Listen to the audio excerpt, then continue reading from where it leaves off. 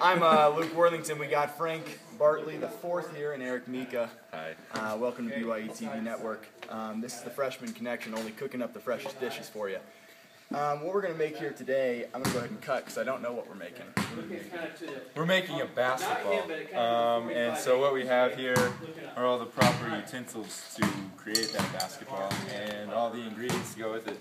So what we have is um, two limes, but they have to be, they can't be fresh. They have to be really old or else it won't work. And then a lemon, which the same, can't be fresh. Two apples, um, some oranges, uh, five pieces of bread. One has to be an piece though. Some food coloring, um, and then some franks. It's funny. And some sharp cheddar uh, stuff. What you're going to want to do, you want to explore the space. Um, just to make sure you don't have anything you're leaving out. So you want to walk around. And while he's talking, I'm just gonna yeah, start. just keep talking.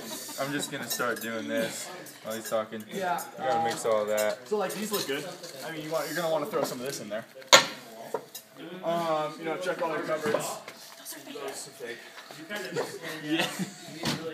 yeah. This is a cooking show. Not everything's real, folks. Make sure we get some cheese in there. Yeah. Tastes so. It smells good. Mm. Wow. All right. Um, and then put it in the oven. Here we go. Um, for time's sake, of course, we've already prepared one, so. This is what it'll look like, though.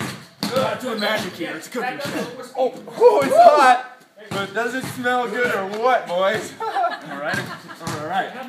Oh. Hot basketball. Yummy. Pass this box over on the right side.